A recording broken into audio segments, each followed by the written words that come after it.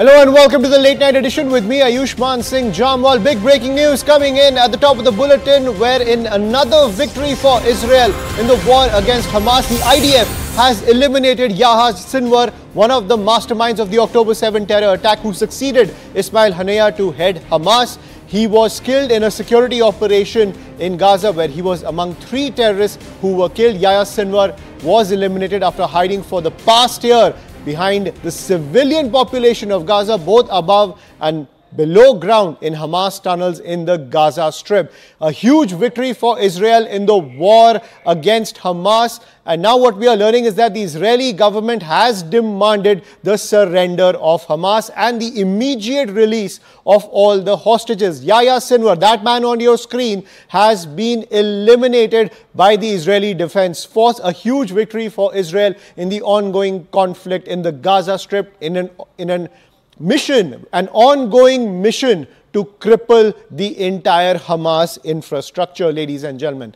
The big news coming in from the war in the Middle East is that Yahya Sinwar, the head of Hamas, has been eliminated by the IDF in a security operation in southern Gaza. Remember, at first they were trying to confirm the identity of Yahya Sinwar, but now it has been confirmed by the Israel Defense Force that the head of Hamas has been eliminated. He was one of the key conspirators of the October 7 terror attack, which shook the entire world. And now the chief of Hamas has been killed. He was killed in a security operation in southern Gaza along with two other terrorists. And that is the latest coming in from the war in the Middle East, where a huge victory has been achieved by the Israel Defense Force against Hamas. Now, Benjamin Netanyahu, the Prime Minister of Israel, is set to speak in a short while. But this is a huge victory for Israel's ongoing offensive against Hamas in the Gaza Strip. I'm joined by Major General A.K. Siwach on the broadcast. General Siwach, a huge victory for Israel.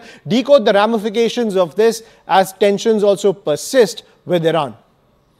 Oh, yeah, no doubt. Uh, uh, see, Anshuman, uh, what has happened is, uh, as far as Hamas is concerned, after Ismail Haniyeh, it was Yahya Sinwar who was the most important commander and he has taken over the, uh, the reign of Hamas after he has been killed, you can now see it. Majority of the uh, the leaders which were uh, leading it have been eliminated. It's only the second rung uh, of leaders have been left as far as Hamas is concerned. It looks like that Israel, uh, Mossad is able to infiltrate in Hamas cadre as well as also in Hezbollah and also the military intelligence of Iran. If you see sequence of action, the way it is in Hezbollah also, it was Hassan Nasrallah killed, then Mohammad Shakur have been uh, also killed, uh, then Ibrahim Akil has been uh, also eliminated. So therefore, there are a number of uh, commanders and leaders which have been eliminated, whether it is Hamas, Hezbollah, or also the Iran has been uh, given, uh, you know, the taste of their own medicine. So now, what is the situation as as on today? As far as Hamas is concerned, I think uh, their military capability has crippled to quite an extent. Their military capability, one can say with a lot of certainty, has reduced to only 20 to 30 percent. Still, they are a force to reckon with in the southern part of uh, Gaza, but not in the central and the north. But certainly, they are now no more a big threat as far as Israel is concerned, and that's how the Israel is asking for the surrender of Hamas. As far as Hezbollah is concerned, it is still very much intact, and Hezbollah is three to four uh, times more powerful than Hamas.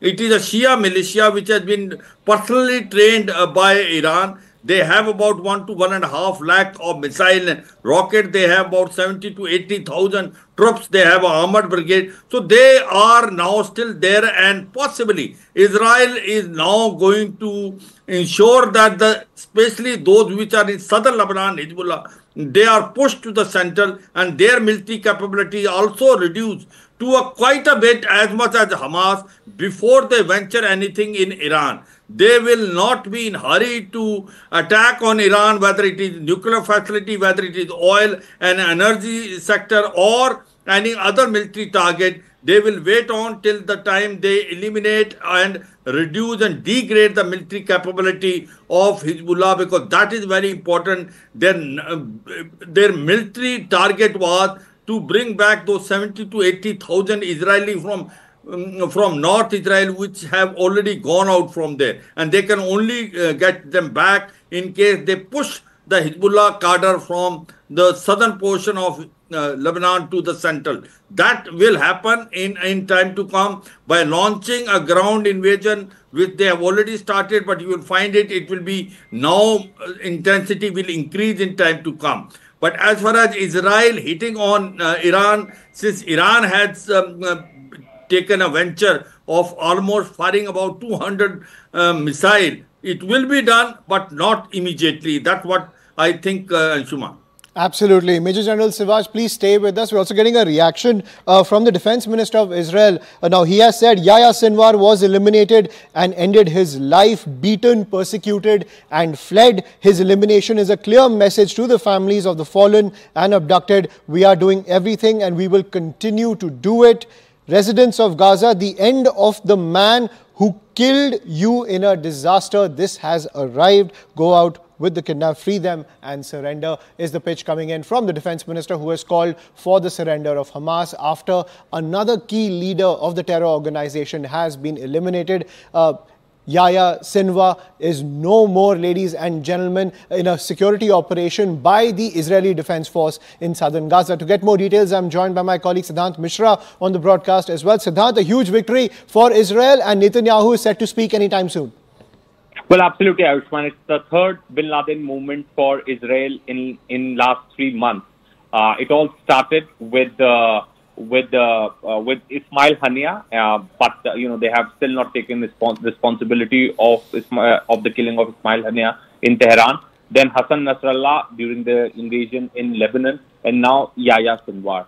So the top three Israel's most wanted have been eliminated by Israel, perhaps the biggest ever victory Israel has achieved in maybe last 20, 25 years against the axis of resistance forces.